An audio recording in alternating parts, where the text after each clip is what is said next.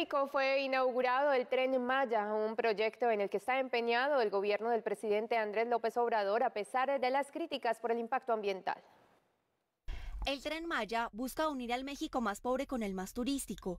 Circulará por algo más de 1.500 kilómetros de vía férrea que atravesará los estados de Tabasco, Chiapas, Campeche, Yucatán y Quintana Roo. Este viernes solo se abrirá el que circula entre Campeche y Cancún. Es una obra magna, no exageramos si decimos que no hay una obra así en la actualidad en el mundo. Y se logró también en tiempo récord. Estas obras por lo general trascienden gobiernos. La construcción de esta obra ha estado marcada por polémicas y críticas enfocadas especialmente el tramo Rivera Maya.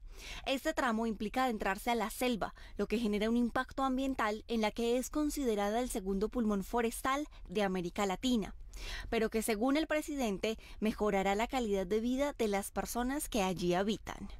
Para ayudar mucho al desarrollo del sureste, ya en una primera etapa ya cumplió su propósito de que en el sureste se crearan muchos empleos, porque esa es la ventaja de la industria de la construcción. Se hacen las obras,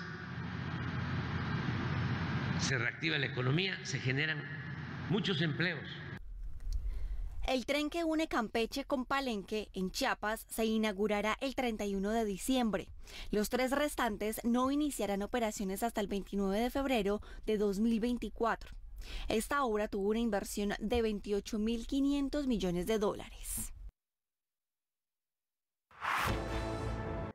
Y mucha atención que un concejal ucraniano detonó varias granadas dentro del recinto del ayuntamiento de la localidad de Kerets en plena sesión con sus colegas.